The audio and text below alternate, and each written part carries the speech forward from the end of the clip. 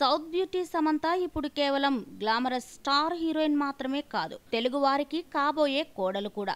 అక్కినేని వారి కోడలుగా మారేందుకు మరికొన్ని రోజుల సమయం మాత్రమే ఉంది. ఇలాంటి సమయంలో సమంత డ్రెస్సింగ్ పై ఓ విచిత్రమైన టాక్ మొదలైంది. రీసెంట్గా సమంత బ్రైడల్ వేర్తో ఓ ఫోటో షూట్ చేసింది. ఇందులో శామ్ బోలెడంత గ్లామర్గా కనిపించింది.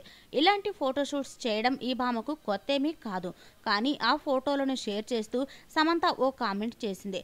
బ్రైడల్ వేర్ డిజైన్స్లో ఆ డిజైనర్ గొప్పతనాన్ని చెబుతూ తన పెళ్ళి డిజైన్ల కోసం అందుకే ఇదే డిజైనర్ను ఎంపిక చేసుకున్నానని చెప్పింది.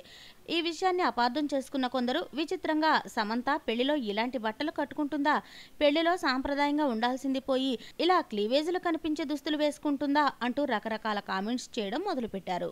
అయినా ఫోటోషూట్స్లో వేసే డిజైన్స్ను రియల్ లైఫ్లో వేసుకునేంతగా పైగా మ్యారేజ్ లాంటి ట్రెడిషనల్ అకేషన్స్లో వేసుకునేంతగా మన కల్చర్లో ఇంకా మార్పులు రాలేదు.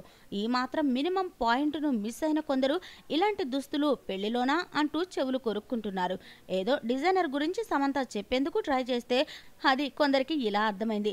అయితే అవి సమంత పెళ్ళి డిజైన్లు కావు. కేవలం ఆ డిజైనర్ క్రియేట్ చేసిన కొత్త డ్రెస్సుల కలెక్షన్ అంతే.